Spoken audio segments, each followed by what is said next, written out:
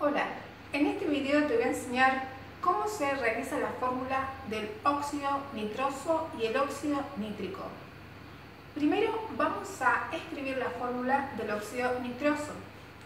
El óxido nitroso se refiere a un óxido de nitrógeno en el cual el nitrógeno tiene un estado de oxidación de 3 positivo y el oxígeno tiene un estado de oxidación de menos 2. Entonces, ¿cómo vamos a formar la fórmula molecular? Vamos a intercambiar las valencias.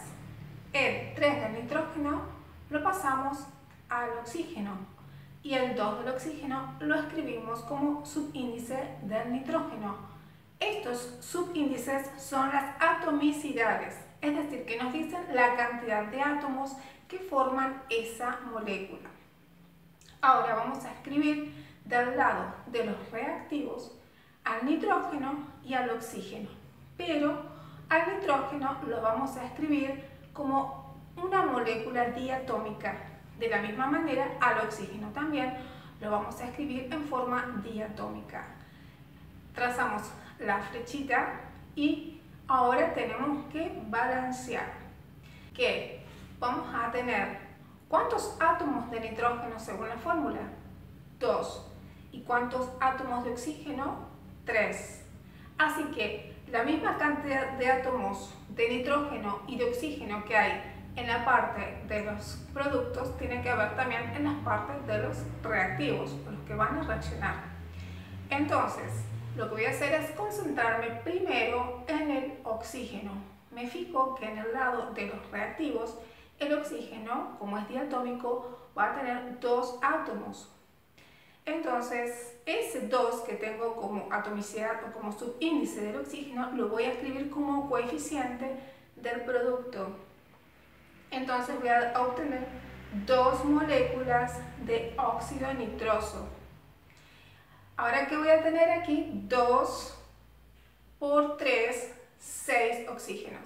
El 3 que lo tengo como subíndice del óxido, del óxido nitroso, pero debajo del oxígeno, ese mismo 3 lo voy a copiar como coeficiente del oxígeno reactivo.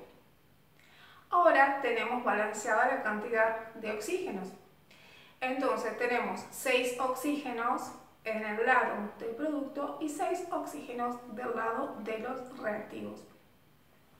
Vamos a concentrarnos ahora en el nitrógeno del lado del producto, ¿cuántos nitrógenos ustedes ven?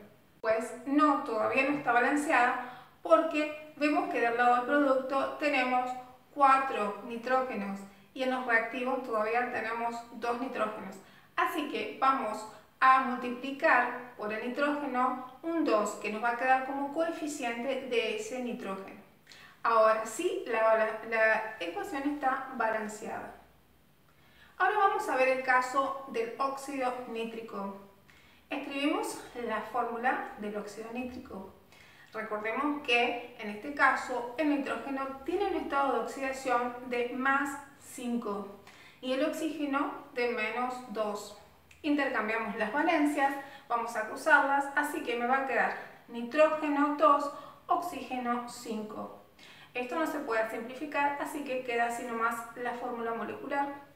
Del lado de los eh, reactivos vamos a escribir nitrógeno diatómico más oxígeno diatómico y escribimos la flechita. Entonces ahora sí vamos a balancear.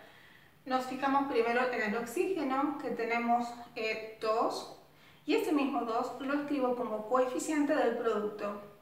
Entonces me va a quedar 2 moléculas de óxido nítrico. Pero el 5 que tiene el oxígeno como subíndice lo vamos a escribir como coeficiente del oxígeno del lado de los reactantes. Ahora que ya tenemos balanceado la cantidad de oxígeno, ya que del lado de los reactivos tenemos 2 por 5, 10 oxígenos y del lado producto 2 por 5, 10 oxígenos también. Así que vamos a ver el nitrógeno.